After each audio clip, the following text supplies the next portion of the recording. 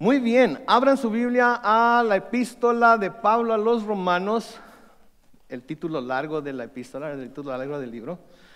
La epístola del apóstol Pablo a los romanos, o Romanos, capítulo 12. Romanos capítulo 12 es en donde esta mañana vamos a seguir nuestro estudio versículo a versículo por este libro. Cuando lo encuentran digan amén, por favor. Muy bien, muy bien. Entonces vamos a orar una vez más. Padre Celestial, al abrir tu palabra, bendice el tiempo que vamos a pasar escudriñándola. Abre nuestros ojos a cosas que quizás antes no habíamos visto en esta porción de la escritura que vamos a ver. Y ayúdanos, Señor, a seguir con nuestro estudio sistemático de toda tu palabra para tener todo tu consejo y poder conocer bien tu corazón y tu mente hasta donde nuestra mente finita la pueda entender. Y que podamos así, Señor, entregarnos, así como estábamos cantando, entregarnos completamente a ti, servirte completamente a ti y vivir para ti, Señor, mientras nos tienes en esta tierra y hasta que nos llames a tu presencia. Bendecimos tu nombre y lo hacemos todo en el nombre glorioso de nuestro Señor Jesucristo. Y la iglesia dice, muy bien, estamos en el capítulo 12 de Romanos y hemos estado estudiando y aprendiendo algunas cosas que son muy importantes, ¿verdad? Algunas Biblias, si es que una de ellas es la que usted tiene, pudiera tener un encabezado ahí en el capítulo 12 de Romanos de los deberes cristianos. Pero como les he dicho, yo veo más bien esto como las características del cristiano, porque deberes es algo que se debe hacer. Características es algo que está en la persona. Y cuando nosotros nos convertimos a Cristo, según las Escrituras, inmediatamente el Espíritu Santo viene y nos llena. Y ese Espíritu Santo causa el nuevo nacimiento en nosotros y causa que algunas características que no teníamos antes en nuestra vida empiecen a surgir y empiecen a manifestarse.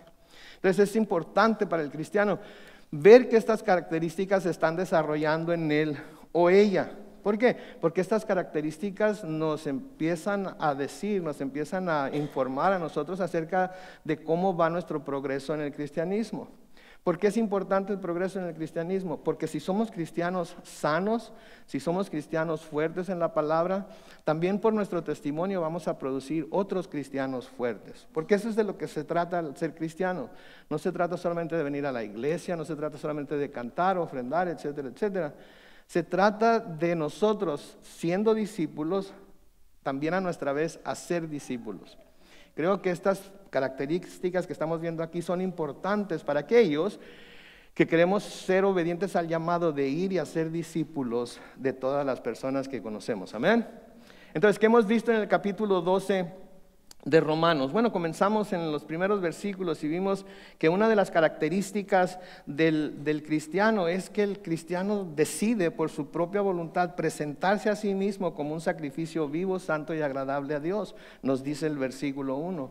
Y nos dice que así es como se debe adorar a Dios, lo que quiere decir que al entregarnos nosotros como sacrificios vivos y santos, es la forma más, más apropiada para adorar a nuestro Señor. El cantar, el ofrendar, el estudiar, todo eso es forma de adorar a Dios, pero la forma más apropiada de adorar al Dios que nos salvó es presentándonos nosotros mismos como sacrificios vivos delante de Él. Amén. Lo segundo que aprendimos fue que como cristianos no adoptamos las costumbres del mundo. No adoptamos las costumbres del mundo, sino que conforme vamos creciendo en el conocimiento del Señor, vamos transformándonos por medio de la renovación de nuestra mente. ¿Para qué? Para comprobar cuál es la voluntad de Dios, que es bueno y agradable y perfecto. Y luego Pablo nos recuerda que como cristianos nunca debemos tener un concepto más alto de nosotros mismos del que debemos tener. Debemos pensar en nosotros con cordura. Debemos pensar que no somos salvos por algo que nosotros hayamos hecho o por algo que nosotros somos. No tenemos el cielo garantizado porque somos buenas personas, porque todos sabemos, aunque cristianos, que no somos tan buenas personas como a menudo aparentamos ser. Es algo real, ¿sí? Entonces nos dice que no tengamos un concepto más alto de nosotros mismos del que debemos de tener, sino que pensemos de nosotros con sensatez según la medida que Dios nos ha dado a cada uno. Amén. Y luego los versículos 4 al 8 estudiamos la semana pasada. Hablamos acerca de cómo el cuerpo de Cristo, o sea, la iglesia, se asemeja a un cuerpo humano, ¿sí? el cual se compone de muchos miembros y como cada miembro está unido a los demás. Cada uno de nosotros como miembros del cuerpo de Cristo teniendo una función, ¿sí? Teniendo una función dentro de ese cuerpo. Hablamos acerca de los diferentes dones que Dios da por medio de su Espíritu Santo a los miembros de su cuerpo para usarlos para el provecho de todos los miembros, ¿verdad? Porque así es el cuerpo. El comemos, la comida es ingerida, es digerida y los órganos que se encargan de, este, tomar los nutrientes y todo de la comida, de lo que comemos, de lo que bebemos, se encarga de llevarlo a todos los miembros. Así también el cuerpo de Cristo, cada uno cumpliendo su función, ayuda para que el cuerpo de Cristo, la iglesia, pueda crecer saludable. En el pasaje paralelo a, este, estos versículos que, que estudiamos la semana pasada, lo encontramos en Primera de Corintios capítulo 12. Y Pablo termina su amonestación en cuanto a los dones espirituales en aquel capítulo y su uso de esos dones espirituales con estas palabras. Primera de Corintios, capítulo 12, los versículos 27 al 31, noten lo que dice. Ahora bien, ustedes son el cuerpo de Cristo y cada uno de ustedes es un miembro con una función particular. En la iglesia Dios ha puesto en primer lugar apóstoles, luego profetas y en tercer lugar maestros. Luego están los que hacen milagros y después los que sanan y los que ayudan, los que administran y los que tienen don de lenguas. Entonces todos esos dones ha dado el Señor Jesucristo a los miembros de su cuerpo, que es la iglesia, en diferentes grados, para diferentes ocasiones, para diferentes situaciones. Y luego Pablo hace una serie de preguntas, que la respuesta es obvia, es no a todo. ¿sí? Comenzando con el versículo 29, dice, ¿son todos apóstoles? ¿Son todos profetas? ¿Son todos maestros? ¿Hacen todos milagros? ¿Tienen todos dones de sanidad? ¿Hablan todos lenguas? ¿Interpretan todos? Versículo 31, noten lo que dice. Como no es así, ustedes deben procurar los mejores dones, pero yo les muestro un camino aún más excelente. Entonces, como cristianos, mis hermanos, debemos de buscar que el Señor nos imparta dones. Debemos de buscar, de, tratar de entender cuáles son los dones que Dios nos ha impartido a nosotros, de acuerdo a lo que dicen las Escrituras, ¿sí? para el bien del resto del cuerpo. Se, nos ha encargado que hagamos eso. Ahora, yo sé que hay muchas iglesias en donde se abusa de los dones espirituales y se hace básicamente un relajo por los dones espirituales, porque siempre se buscan aquellos dones que se manifiestan supuestamente más a flor de piel, hablando especialmente o específicamente de lenguas y, dones de profecía y todo ese tipo de dones que si nos vemos la lista que Pablo nos da en, en Primera de Corintios 12, están muy abajo en la lista que él nos da, Entonces Pablo exhorta a sus lectores en Corinto que busquen los mejores dones, pero al mismo tiempo les dice que Él les va a mostrar un camino aún más excelente que el tener todos esos dones. Porque podemos tener un montón de gente aquí con muchos dones espirituales, bien asombrosos, pero gente que constantemente se está mordiendo la una a la otra, criticándose la una a la otra, hablando mal los unos de los otros. Me puedo atrever a decir aborreciéndose unos a otros. Y no estoy hablando nada más de gente que no se conoce. Estoy hablando de gente dentro de las mismas familias cristianas, porque se da. Es la verdad de las cosas. No estoy diciendo algo que no, estemos, no podemos estar de acuerdo con ello, porque se da. ¿Sí? Entonces hay un camino aún más excelente y ese camino más excelente es el amor. Ese camino más excelente es el amor. Pero antes de decir amén, tenemos que entender lo que el amor bíblico es comparado con lo que es el amor terrenal. Pero el, camino más excelente es el amor, porque el amor es el que nos debe motivar a no tener un más alto concepto de nosotros mismos del que debemos de tener. El amor por los demás me va a llevar a mí a un grado de humildad en el cual no voy a querer estarme manifestando, presentando como mejor que todos. ¿Sí? Me voy a manifestar, aunque soy el pastor, voy a hablar de mí, ¿sí? Como hablaría de cualquiera de ustedes, porque yo tengo las mismas debilidades que ustedes, tengo las mismas tendencias que ustedes, tengo la misma habilidad, créanlo o no, yo sé que no, se, no parece, pero tengo la misma habilidad que ustedes para pecar en cualquier momento. Entonces, el amor me va a llevar, el amor por ustedes me va a llevar a no tratar de hacerme más que todos ustedes, sino de verme, verme, hey, tranquilo. Así como ninguno de ellos ha llegado, tú tampoco has llegado. Mi mamá decía, todo, dice todavía, todos tienen cola que, todos tenemos cola que nos pisen, ¿verdad? Y es cierto. Entonces, por eso el amor nos va a llevar a no, a no tener un más alto concepto de nosotros mismos del que debemos tener. Y el amor también nos va a motivar a usar los dones que Dios nos ha dado a cada uno para el provecho de todo el cuerpo. El amor va a ser lo que nos va a motivar a usar los dones que Dios nos ha dado a cada uno para el provecho de todo el cuerpo. No para verme yo como más espiritual, no para verme yo como más superdotado de dones espirituales, sino que los voy a usar para que todos sean beneficiados por ello. ¿Sí? No lo voy a usar para pararme el cuello, como decía mi papá, o para, para creerme, oh, yo soy más espiritual porque yo hablo en lenguas y tú no hablas en lengua, yo soy más espiritual porque yo profetizo y tú no profetizas. No, lo voy a usar para el bien de todos y la única manera que se va a poder hacer eso conforme a las escrituras es por medio del amor. Y sin ese amor, los dones espirituales dentro de la iglesia, ¿saben para qué sirven? Para nada. Para nada. Porque en Primera de Corintios 13, que es el capítulo que le sigue a Primera de Corintios 12, ¿verdad? Inmediatamente Pablo habla de la preeminencia del amor. Y en Primera de Corintios 13, comenzando con el versículo 1, noten lo que dice. Si yo hablara lenguas humanas y angélicas y no tengo amor, vengo a ser como metal resonante o címbalo retumbante. Y si tuviera el don de profecía y entendiera todos los misterios, si tuviera todo el conocimiento, y si tuviera toda la fe de tal manera que trasladara los montes, y no tengo amor, nada soy. Y si repartiera todos mis bienes para dar de comer a los pobres y entregara mi cuerpo para ser quemado y no tengo amor, de nada me sirve.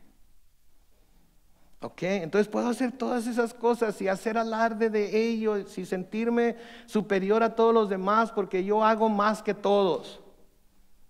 Pero si lo que me motiva no es el amor, sino mi autoexaltación, de nada me sirve es como si no tuviera ningún don. Por sublime que sea ese don, por angelical que sea, por espiritual que sea, por piadoso que sea, si la motivación para usar ese don no es el amor por aquellos que me están escuchando y viendo, no es el bienestar de ellos, entonces de nada me sirve. Soy como un címbalo que retiñe. Sí, si el, baterista se, sentara ahí y empezara a golpear los címbalos, pum, pa, canten. Y él, canten. No tiene sentido, ¿verdad? Iban a decir, ¿qué está pasando? Ahora, si le pone un ritmo acá medio, ¿verdad? Entonces pudiera hacer algo, pero así nada más. Y eso es lo que sucede con la persona que tiene dones, pero no los usa para el bien de todos los demás y los usa nada más para su autoexaltación. De nada le sirve.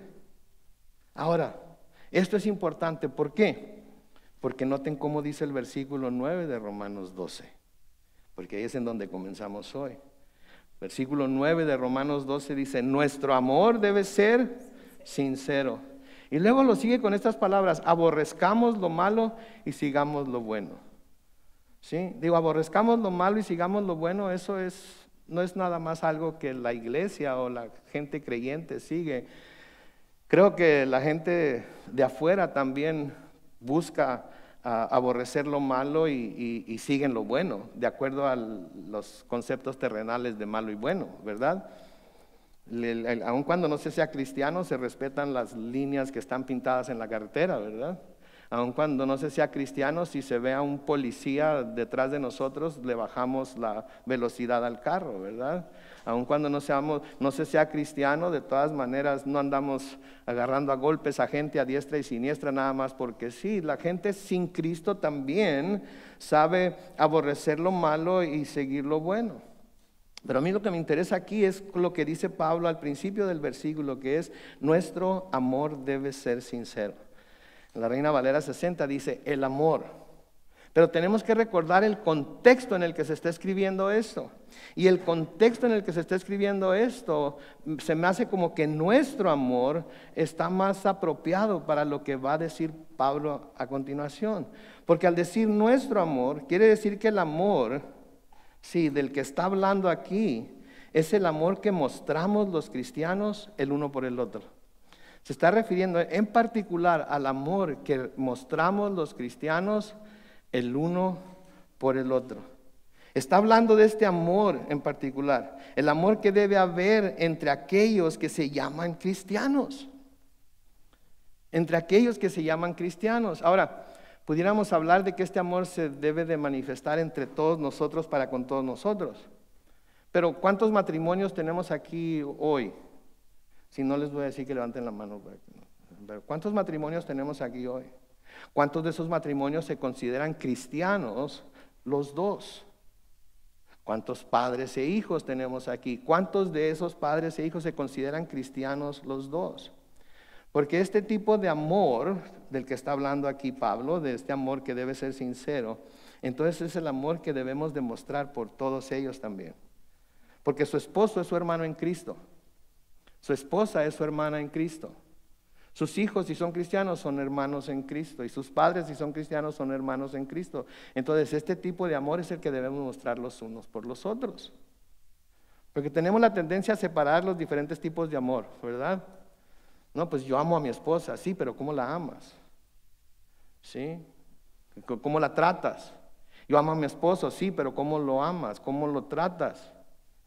¿Le hablarías a un hermano en la iglesia de la misma manera que le hablas a él? ¿Le gritarías a un hermano en la iglesia de la misma manera que le gritas a él? ¿Lo regañarías? ¿Regañarías a un hermano en la iglesia de la manera en la que lo regañas a él? Y viceversa, hermano, ¿usted trataría a una hermana de la iglesia como trata a su esposa? ¿Le hablaría como le habla a ella? ¿La, la, juzgaría como la juzga a ella? Etcétera, etcétera, etcétera, etcétera. Padres con hijos, hijos con padres. Si nos ponemos a pensar en que somos hermanos en Cristo antes que todo lo demás, entonces vamos a mostrar este tipo de amor para con ellos. ¿Sí? Dios está demasiado pesado para, para, comer, comenzar con ello, ¿verdad? Pero es la verdad. Es la verdad. Sí, entonces el amor que debe haber entre nosotros, ya seamos familia, cónyuges, iglesia, si somos cristianos, es ese amor sincero del que habla aquí. Ahora, la palabra que se traduce amor del griego al español es la palabra griega ágape o agape, dependiendo del, diccionario que se, que se consulte, ágape. Que, a propósito, esta es la misma palabra que se usa en, en Primera de Corintios 13 al hablar del amor. Y escuchen esto, porque esto me asombró a mí cuando lo descubrí. Esta palabra griega, ágape, rara vez se usaba en la literatura griega antes del Nuevo Testamento. O sea que esta palabra ágape no era una, una, palabra común, ¿sí? No usaban esta palabra ágape, amor, muy comúnmente en la literatura griega. Pero esta es una palabra que vino a surgir y ser muy usada en el Nuevo Testamento. Cuando se usaba antes del Nuevo Testamento, denotaba mostrar bondad a los extraños. De eso era de lo que se trataba, mostrar bondad a los extraños, dar, dar hospitalidad, ser caritativo. Nada, fuera de nada, nada fuera de lo común, ¿no es cierto? Todos buscamos, no andamos agarrando extraños a patadas, ¿verdad? Y cuando alguien nos pide un vaso de agua, si tenemos el vaso de agua a, la mano, lo damos, o un pedazo de pan, o qué sé yo. Y ser caritativo, a todos nos gusta ser caritativos y, y mostrar caridad para con la gente que lo necesita. Pero en el Nuevo Testamento la palabra ágape adquirió un significado especial. ¿Okay? fue utilizada por los escritores del Nuevo Testamento para designar un amor, escuchen esto, muy importante esta palabra, volitivo. un amor volitivo. Cuando hablamos de volitivo, estamos hablando de algo que es perteneciente o relativo a la voluntad. Entonces el amor ágape es un amor que uno decide dar por nuestra propia voluntad. ¿Ok? ¿Lo entendemos? Amén. Qué bueno que dijeron amén. Porque este es un amor expresado naturalmente por Dios. Dios se obliga a sí mismo a amar porque Él es amor. Su voluntad es amar. Entonces este amor es expresado naturalmente por Dios, pero no es expresado tan fácilmente por los hombres y las mujeres. ¿Sabían ustedes? Nadie se obliga a sí mismo a amar a otro. Nadie se obliga a sí mismo a mostrar amor a otra persona. Nadie nos puede obligar a mostrar amor a otra persona. ¿Por qué? Qué bueno que preguntan. Porque nosotros pensamos que el amor debe sentirse para que pueda ser sincero, ¿no es cierto? Es que si no lo siento, me siento como un hipócrita.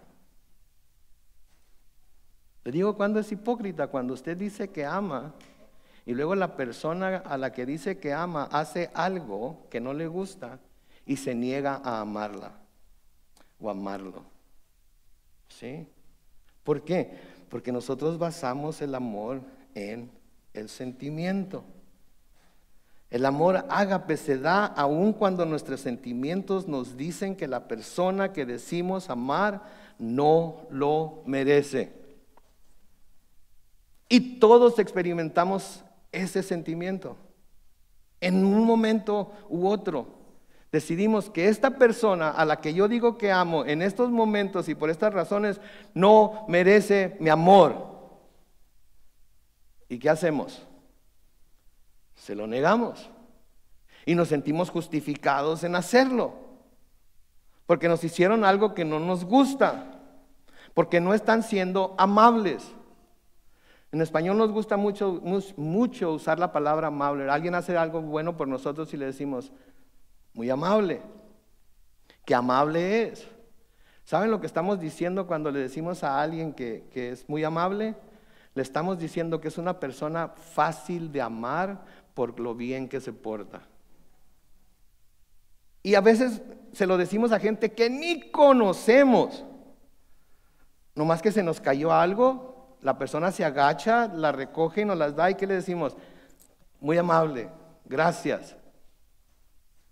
Puede ser un rufián, puede ser una persona completamente deschavetada, puede ser, y le decimos amable sin conocerlos. Curiosamente, a veces a la persona que decimos amar, que tenemos tiempo de conocerla, que tenemos años con ella, que dormimos con ella, la consideramos como que no es amable, como que es difícil de amar. Y les digo una cosa, tienen razón. En serio, tienen razón. Pero la palabra de Dios nos llama a tener amor ágape por ellos. Lo que quiere decir que en ese momento en el que lo consideramos no o la consideramos no amable, no tenemos una justificación bíblica para negarles nuestro amor. Ese es el amor ágape. ¿Sí? Nosotros, porque creemos que todo está basado en sentimientos, y ese es uno de los peores errores que podemos cometer. Y desafortunadamente, hermanas, ustedes están muy dadas a eso. Cuidado, no me van a tirar con nada. Pero ustedes son muy dadas a eso, si no lo siento, ¿verdad? Y no debe ser así. Entonces, amamos a la persona aún cuando, cuando amamos con el amor ágape del cual escribe la Biblia, cuando amamos a la persona, la amamos aún cuando la persona no es amable o nosotros lo consideremos digno digna de no ser amado. Ahora, de nuevo, es importante que recordemos que el contexto del, del amor que estamos hablando aquí es el amor que se debe mostrar los creyentes los unos a los otros. Pero si son esposos y son creyentes, son hermanos en Cristo. Es el mismo amor que deben demostrarse. Ahora hay otros amores para el matrimonio también que se, que se deben de practicar, pero este es el, el amor principal. Esto es lo que en realidad va a hacer que el matrimonio pueda tener éxito o no. Ahora se nos dice que nuestro amor debe ser, ¿cómo? ¿Qué dice ahí el versículo 9? Nuestro amor debe ser sincero. ¿Qué quiere decir sincero? Okay, sincero quiere decir sencillez, quiere decir veracidad, o sea, debe ser real. Sinceridad quiere, es un modo de expresarse o de comportarse libre de fingimiento, o sea, hacerlo de buena gana. Escuchen esto, por favor. Aunque no lo sintamos. Hacer, y de nuevo, ahí entran los sentimientos. Hacerlo de buena gana aunque no lo sintamos. Échense ese trompo a la uña. Porque es, algo con lo que todos batallamos. Amar a alguien aunque en ese momento no sintamos que lo amamos. Mostrarle amor aunque en ese momento sintamos que no lo merece.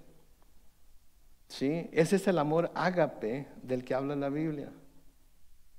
Tenemos que por nuestra propia voluntad amar a la persona. Y cuando nosotros por nuestra propia voluntad amamos a la persona, aunque no lo sintamos, saben que hay una muy buena probabilidad de que tarde o temprano nuestros sentimientos alcancen a nuestra voluntad. Okay, nunca, matrimonio, nunca se han enojado, bueno, no puedo decir nunca. ¿Cuándo se enojan con, en algunas veces cuando se han enojado con su marido o su esposa. Y están bien enchilados. ¿Sí? Y cada uno agarra por su lado y pues últimamente, pues tú también, pues ya me voy con mi mamá, pues vete y todas esas argüentes, ¿verdad?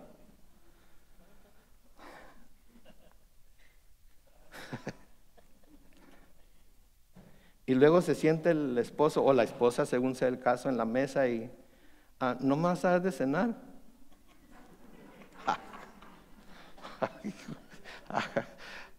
hijuela, después de cómo me hablaste, después de cómo me trataste, o la esposa, honey, ya me voy a ir con las hermanas, vamos a ir a tomarnos un café, me das una, una feria para, para, pues para yo también tener, oh sí, después de cómo me trataste, después de cómo me hablaste, esa es, nuestra primera reacción. Eso es, lo que la carne nos llama a hacer.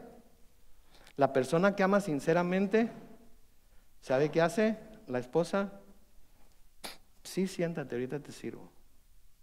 Y anda sirviendo. se le, para que no vaya a andar diciendo, porque luego ahí se queja con su mamá. y le sirve. Y el marido le dice, ¿sabes qué? Mi hija, vieja, amor, gracias. Gracias, me encanta cuando haces eso. ¿Saben qué descubrimos? Que a veces el forzarnos a hacer lo que debemos hacer lleva a que nuestros sentimientos sigan a nuestra voluntad. Pero tenemos que forzarnos. Porque si amamos a la persona, tenemos que forzarnos a amarla aun cuando no sea amable. Y yo sé que estoy hablando de algo que es muy difícil, porque yo también soy ser humano. Y a veces tengo problemas con mi hijo porque vivimos juntos. y a veces tengo problemas con él y me tengo que forzar a amarlo. Me tengo que forzar a dejarlo seguir viviendo en mi casa. y aquí está ahorita. Me tengo que forzar. Y él se tiene que forzar a amarme a mí. Pero después de forzarnos a amarnos el uno al otro, antes de despedirnos a donde sea que vayamos, I love you, son. I love you, dad. ¿Por qué? Porque no basamos nuestro amor en lo que sentimos en cualquier momento, lo basamos en lo que la palabra de Dios nos dice que debe estar basado. Ahora, si en lugar de forzar a su voluntad a amar a la persona que no es amable, sigue sus sentimientos, ¿a dónde lo o la van a llevar sus sentimientos? A estar retorciéndose ahí, pero me las va a pagar en cuanto, en cuanto tenga la oportunidad, en cuanto... Y, y, eso es lo que su corazón está sintiendo. ¿Por qué? ¿Qué nos dicen las escrituras? Malvado es el corazón y engañoso quien lo puede conocer. Sin embargo, ¿cómo se nos dice que debemos seguir nuestro corazón, verdad? Oh, si tu corazón, si en tu corazón tú sientes, si tu corazón te dice, tú sigue tu corazón y todo. Oh, mis hermanos, es lo peor que podemos hacer. Mi corazón es malvado, como no se imaginan ustedes. Sí. Pero si seguimos nuestros sentimientos, eso nos va a apartar más y más y más y más de la voluntad de Dios. Más y más y más de ese amor ágape. Entonces nuestro amor debe ser sincero, pero debe ser no sincero porque lo sentimos, sino sincero porque lo damos a pesar de que sentimos que la persona a la que se lo estamos dando no lo merece. Versículo más famoso de la Biblia, ¿cuál es? Juan 3:16. De tal manera que lo merecía el mundo. Pero de todas maneras lo envió. Y murió por nosotros. Ninguno de nosotros merecemos el cielo, ni aún después de cristianos, porque aún después de cristianos hemos fallado en más de una ocasión y en más de una manera. Amén o no. Sin embargo, lo tenemos asegurado. ¿Por qué? Porque el Señor nos ama aún cuando no somos amables. Porque en Cristo nos ve, Él está viendo a su Hijo y no lo que nosotros vemos así con nuestro cónyuge, con nuestros hijos, con nuestros padres. No debemos verlo como nosotros lo vemos con nuestros ojos terrenales, debemos verlo como Dios los ve a ellos en su Hijo Jesucristo. Para poder tener ese amor. ¿Sí? En primera de Juan capítulo 3 y el versículo 18 dice, hijitos míos, no amemos de palabra ni de lengua, sino de hecho y en verdad. ¿Ok? Dice algo de sentimiento, dice, no amemos de palabras solamente o de lengua, sino sientan el amor. ¿Dice algo semejante a eso ahí en la palabra? ¿Qué dice? Hijitos míos, no amemos de palabra ni de lengua, sino hecho y verdad. Es fácil decir te amo, ¿no es cierto? Amamos tantas cosas.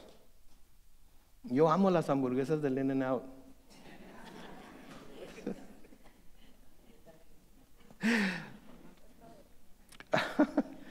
Usamos la palabra amo con tanta facilidad para tantas cosas y con la misma palabra yo amo, amo a mi esposa y amo a mis hijos. Pero ¿a cuál de ellos amo más? Depende. Si quiero algo de mi esposa, a ella la amo más. Pero si tengo mucha hambre, in and out. Esos son nuestros sentimientos, eso es seguir nuestros sentimientos. Sí, pero si amamos sinceramente como la Biblia habla, vamos a amarnos los unos a los otros aun cuando no seamos amables, porque es fácil decir te amo, pero la prueba del amor no está en los sentimientos, la prueba del amor está en lo que se hace. Algunas veces recuerdo a mi esposa diciéndome, dices que me amas, pero tus hechos no dicen que me amas. Esposas, ¿No es cierto? Dicen que las amas, pero los hechos dicen completamente lo. Y saben lo curioso, varones, que las mujeres se esfuerzan, se esmeran por mostrarnos su amor por medio de los hechos. A menudo nosotros somos las que las sacamos de quicio y finalmente nos... ¿En, ¿En serio? Porque son más dadas a por eso son las madres ellas. Imaginan si nosotros fuéramos los, las madres, nos comeríamos a nuestras crías. Como los leones, cuando llegan los leoncitos, ¿verdad? Y le quieren quitar un pedazo de carne. Y el leoncito ahí está todo entonces no, amemos de palabra ni de lengua, sino de hecho y verdad. ¿Quiere decirle a la persona que ama que la ama? Muéstreselo con hechos. muéstreselo con la verdad. Eso es lo que es el amor sincero, eso es lo que es el amor no hipócrita. ¿Sí?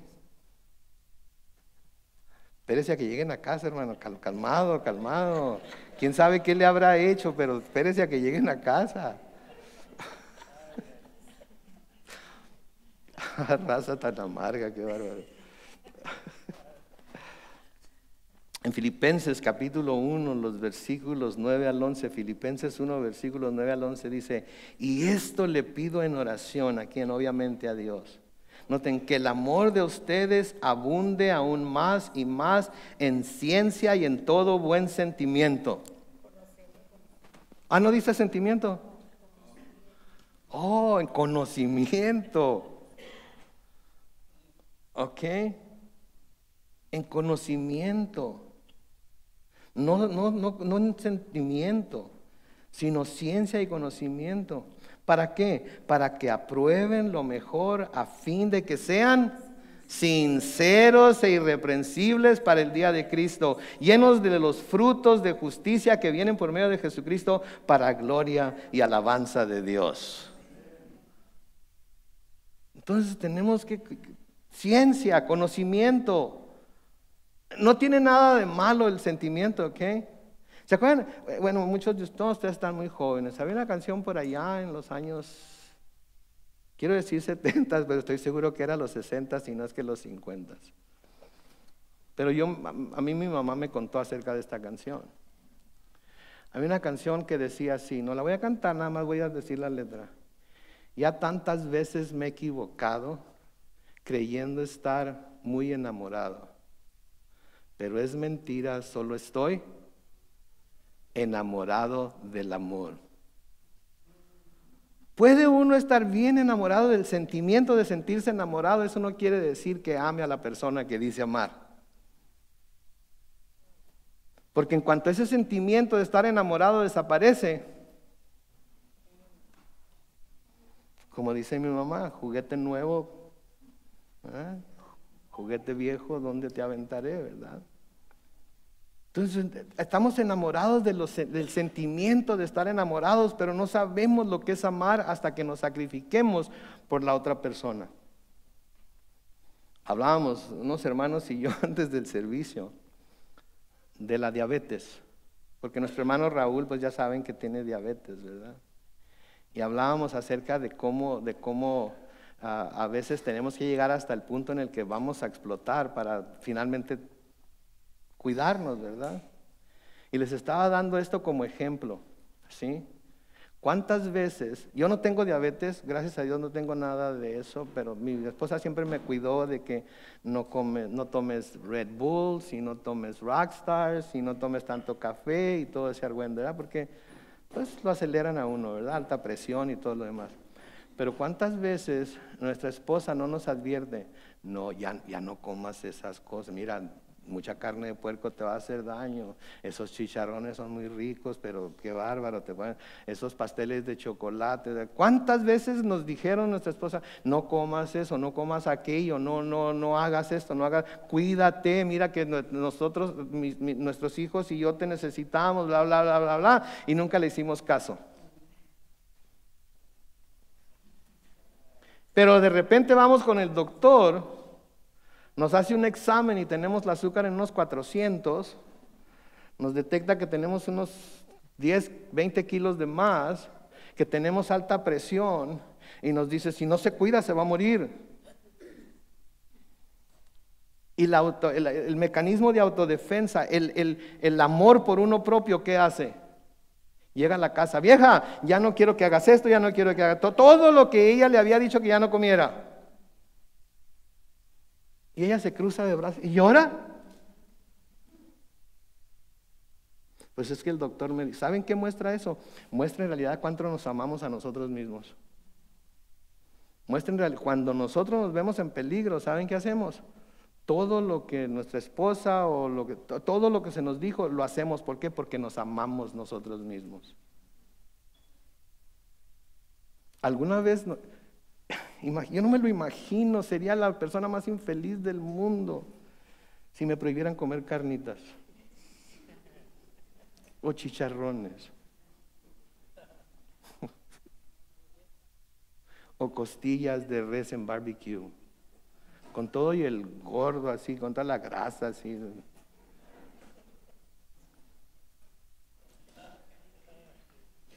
Les digo una cosa, no estoy dispuesto a sacrificarme. Pero si el doctor me dijera, bla, bla, bla, bla, de volada, estaría dispuesto a sacrificarme. ¿Por qué? Por amor a quién. Y la pregunta es, si la palabra de Dios nos dice que amemos a nuestro prójimo de la misma manera que nos amamos nosotros mismos, que implica que sabemos amarnos a propósito. Eso de si no sabes amarte a ti mismo, no vas a poder amar a nadie, es una de las mentiras más, más grandes que Satanás ha descargado en este mundo. Si la palabra de Dios nos dice que debemos amar a nuestro prójimo como nos amamos nosotros mismos, ¿no deberíamos de sacrificarnos por ellos de la misma manera que estamos dispuestos a sacrificarnos por nosotros mismos cuando nuestra vida es la que está en juego? Deberíamos. Por eso dije, no deberíamos. Y por eso este es un reto básicamente a vivir una vida de sacrificio por las personas que amamos o decimos que amamos. Entonces, de nuevo, en, Filipenses 1, 9 al 11, creo que este es un, pasaje muy importante para los que queremos amar bíblicamente, porque dice, y esto les pido, le pido en oración, que el amor de ustedes abunde aún más y más en ciencia y en todo conocimiento, para que aprueben lo mejor, a fin de que sean sinceros e irreprensibles para el día de Cristo, llenos de los frutos de justicia que vienen por medio de Jesucristo para gloria y alabanza de Dios. Y luego dice, aborrezcamos lo malo, ¿sí? que quiere decir rechazar, detestar, odiar, no soportar, y sigamos lo bueno. Un concepto muy, muy, muy, muy básico de las escrituras en el Salmo 34, los versículos, en el versículo 14, Salmo 34, versículo 14, y dice, apártense mal, del mal, practiquen el bien, busquen la paz y no la abandonen. Sí, así de sencillo, busquen la paz. Y vamos a ver más adelante que los que los que tenemos el control sobre si vamos a tener paz o no vamos a tener paz, ¿saben quién es? Nosotros mismos. Nosotros mismos. En Hebreos capítulo 13 y el versículo 16, noten lo que dicen, no se olviden de hacer bien ni de la ayuda mutua, porque estos son los sacrificios que agradan a Dios hacer el bien y ayudarse mutuamente. Noten, estos son los sacrificios que agradan a Dios. Todo lo demás es parte de, pero estos son los sacrificios que hacen que Dios sonría. ¿Cuántos queremos que Dios sonría cuando ve nuestra vida? Entonces esto es lo que lo va a hacer sonreír. Pero luego noten esto, por favor, este es, este es lo más importante, creo yo. Santiago capítulo 4, versículo 17, dice, el que sabe hacer lo bueno y no lo hace, ¿qué dice?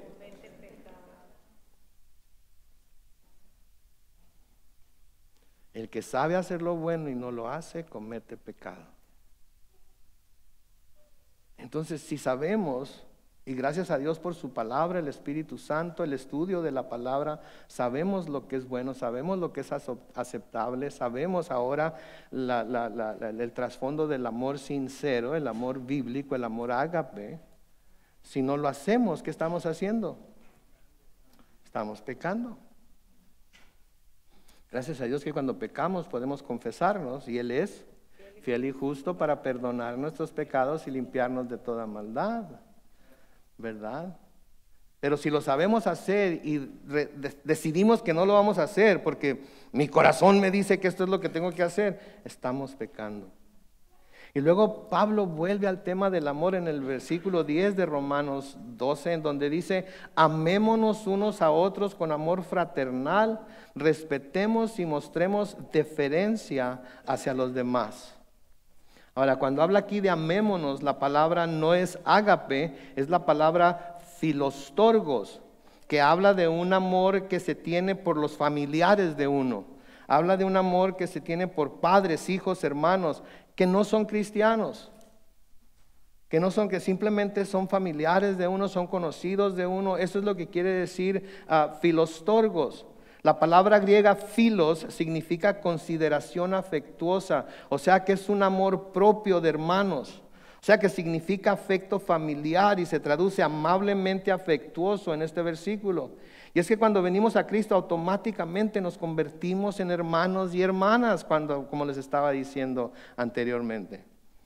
En los evangelios el Señor Jesucristo nos dice que nadie que por causa de Él y del evangelio deje casa, hermanos, hermanas, madre, padre, hijos o tierras, que no vaya en este tiempo a recibir aunque con persecuciones, cien veces más casas, hermanos, hermanas, madres, hijos y tierras, y en el tiempo venidero, la vida eterna.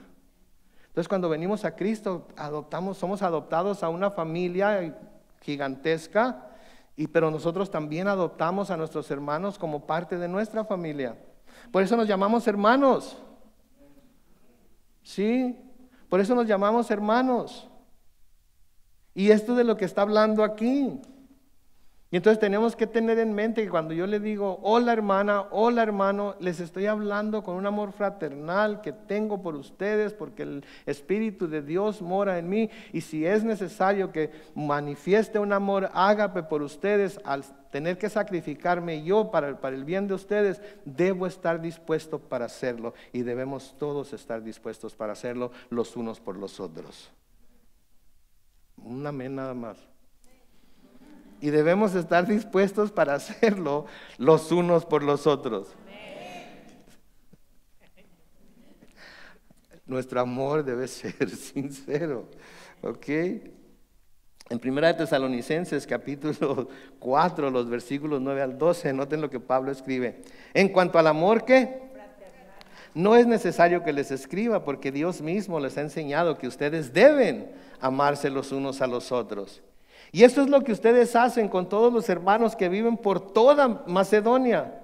Sin embargo, hermanos, les rogamos que su amor abunde más y más y que procuren vivir en paz y ocuparse de sus negocios y trabajar con sus propias manos, tal y como les hemos ordenado, a fin de que se conduzcan honradamente con los de ¿dónde?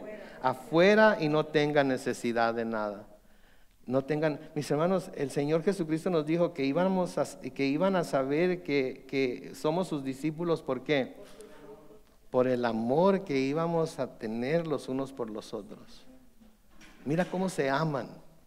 Mira cómo se reciben. Mira cómo se abrazan. Mira cómo se, se, se saludan con ósculo, que quiere decir beso santo cuando se saludan. Sí, eso es lo que debe llamar la atención del mundo de afuera, el amor que sentimos los unos por los otros, pero no solamente que sentimos, sino que lo practicamos, lo ponemos en práctica, aunque no sintamos que se lo merece alguien. A esa persona que sentimos que no se lo merece, las que más amor le debemos demostrar, porque es lo que está doblando nuestra voluntad a la voluntad de Dios, y es cuando nuestros sentimientos tarde o temprano siguen a la voluntad. No si lo hacemos de otra manera. En primera de Pedro capítulo 1, versículos 22 y 23 dice, y ahora, ya que se han purificado mediante su obediencia a la verdad, ¿para qué?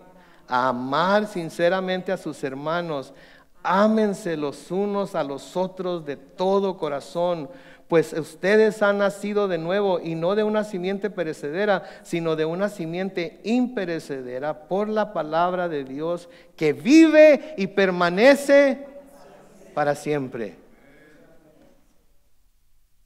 El mundo pasará, el cielo pasará, nosotros, si el Señor traza su venida pasaremos, pero la palabra de Dios permanece para siempre. Por eso debemos ponerla por encima de nuestros sentimientos, por eso debemos ponerla por encima de lo que nuestro corazón nos dice que debemos hacer y debemos seguir lo que su palabra nos dice porque la palabra de Dios es verdad y permanece para siempre.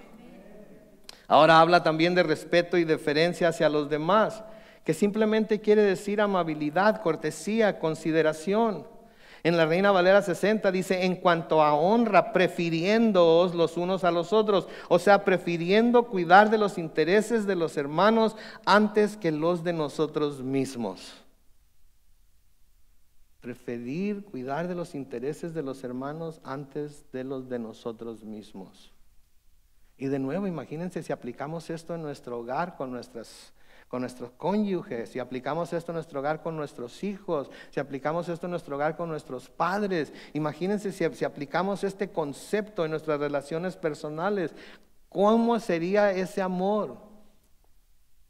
Sería una lucha, pero por ver quién sirve más al otro, ¿no es cierto? Por ver quién puede servir más al otro. ¿Sí?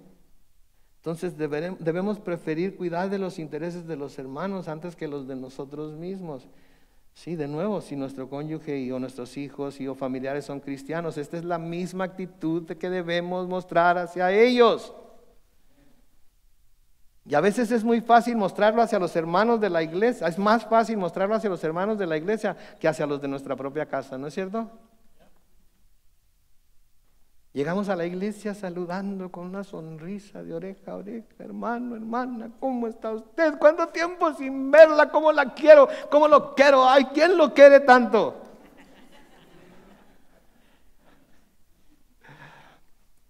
Y en la casa, cuando nos enojamos con el mareado, o con, o con la esposa, o con los hijos, o con los papás, todo eso como que desaparece, ¿verdad? La mayor prueba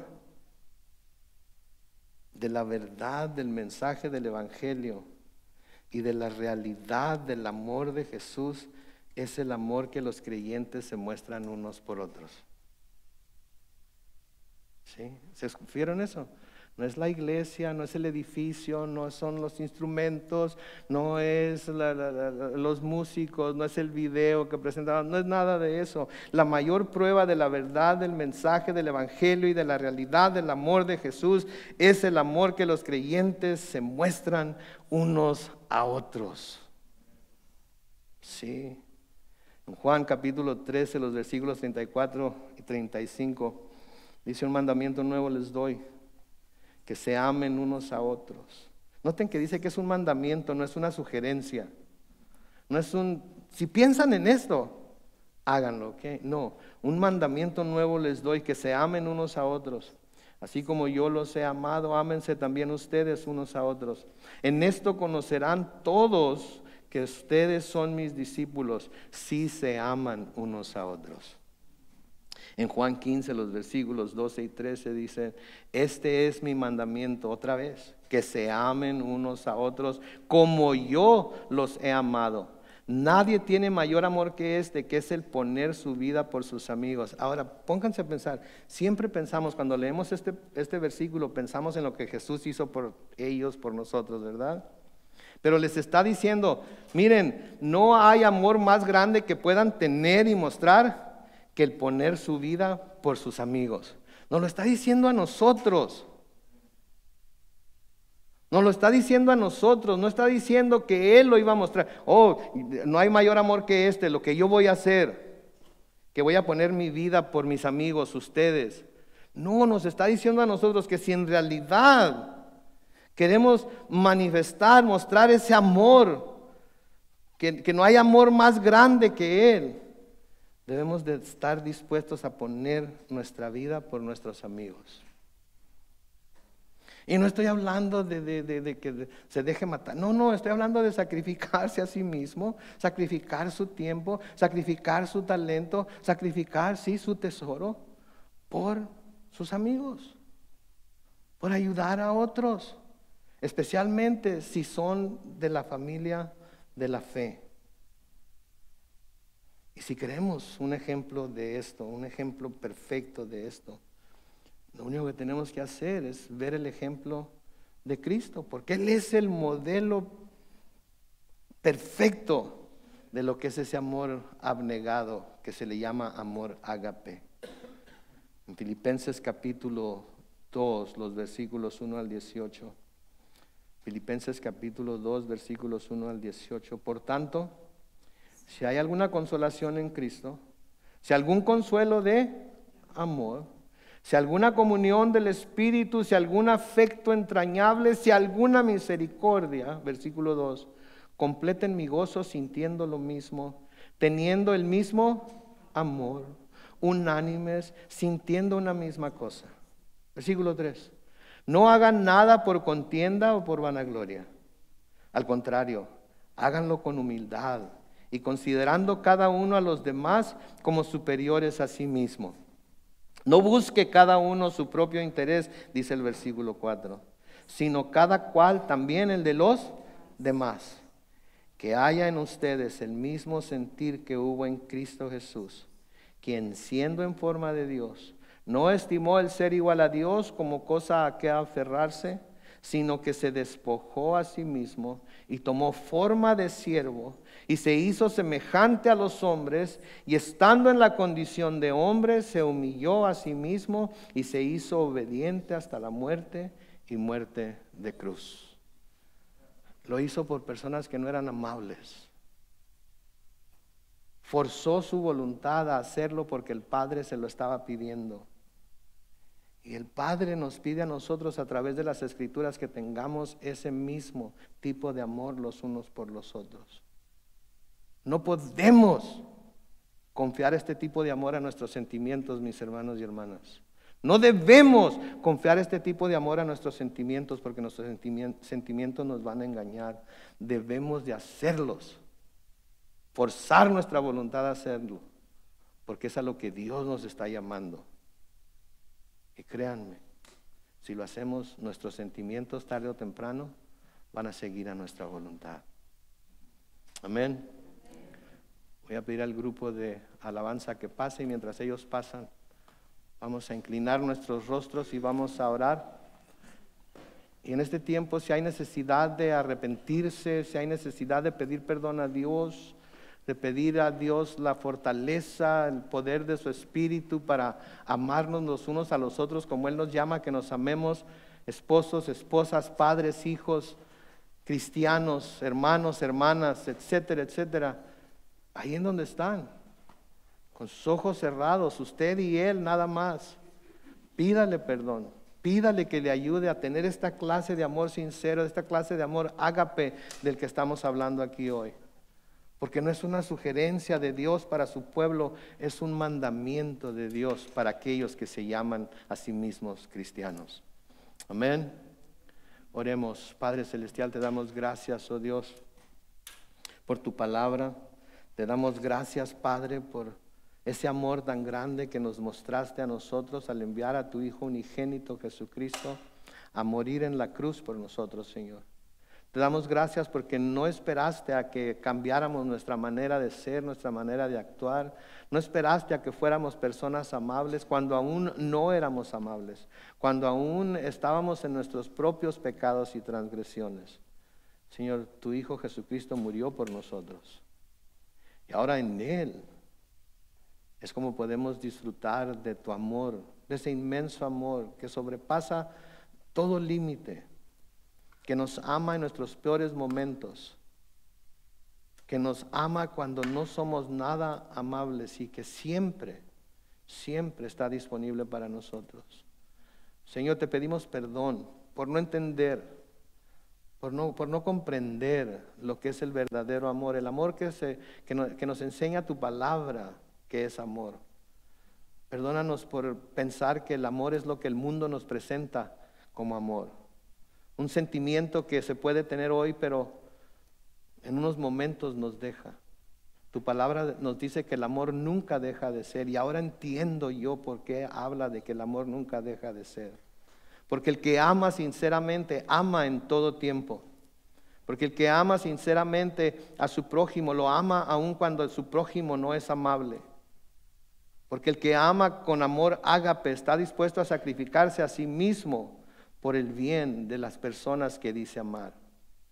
Danos ese corazón, Señor. Danos ese corazón que nos podamos someter, a tu perfecta voluntad, especialmente en este tema del amor. Lo necesitamos en nuestra iglesia, lo necesitamos en nuestros hogares, lo necesitamos en nuestro trabajo, lo necesitamos donde quiera que vayamos, porque tu palabra nos dice claramente que por la forma en la que nos amamos los unos a los otros, el mundo iba a saber que somos tus discípulos. Así es que Señor, ayúdanos a tener ese amor para con los de aquí de adentro, para con los de nuestra casa y que ese amor de alguna manera pueda salir hacia el resto del mundo, Padre Santo.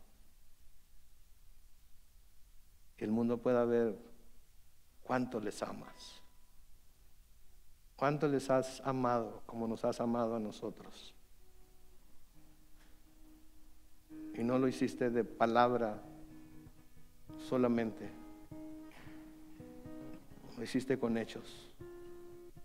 Señor Jesús, todavía me llena de asombro que siendo igual a Dios, no viste el ser igual a Dios como algo a que aferrarte, sino que te despojaste de ti mismo para venir a la tierra en forma de siervo, como un hombre igual que yo, para morir por mí. Gracias Dios por ese amor. Gracias Señor Jesús por someterte a la voluntad del Padre. Gracias Espíritu Santo por revelarnos estas cosas. Señor, bendice a tu pueblo hoy. Llénanos de amor. Que salgamos de aquí dispuestos a amar como tú nos has amado. A darlo todo como tú lo diste. Lo necesitamos, oh Dios. Algunos lo necesitamos para ser sanados. Heridas emocionales que hemos cargado con ellas por mucho tiempo. Lo necesitamos, Señor. Derrama tu amor para tu honra y tu gloria. Lo pedimos en el nombre glorioso de Cristo Jesús. Y la iglesia dice,